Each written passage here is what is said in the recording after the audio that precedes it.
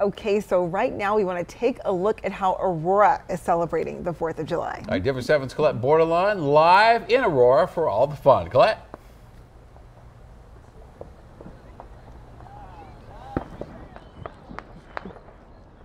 Yeah, guys, you just missed the official firework finale out here in Aurora. Hundreds of people clearing out right now from the municipal building while they were waiting on the main attraction, though they had the chance to get some food from vendors. And one of those vendors tells me her American story is the American dream.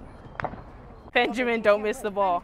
The 4th of July in Aurora. We're watching fireworks and playing volleyball pretty much the whole time. A celebration with games, music, food, and of course, family. This is my granddaughter, Autumn Brown. She's two and a half years old. What everyone's here for happens once the sun sets. Fireworks, of course, the big boom. But while they wait, asada, pastor, and chicken. They eat. I'm the owner of Talavera Cocina, so I'm the creator, I guess, of this whole mess. With everything, correct?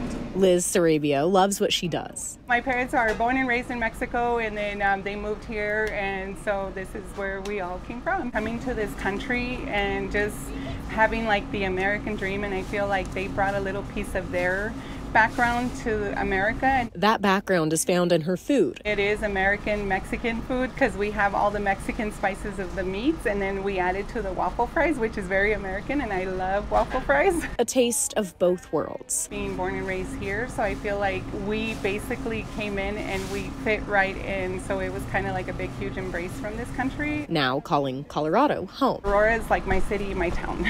in the most diverse city in the state. We're all this beautiful, big, huge mix of cultures, customs, and agricultures behind like all of our backgrounds. Where she's found the American dream. I built something from nothing, and so just to know that it could be done, I think that that's the American dream. While sharing a little bit of her family with everyone in the city.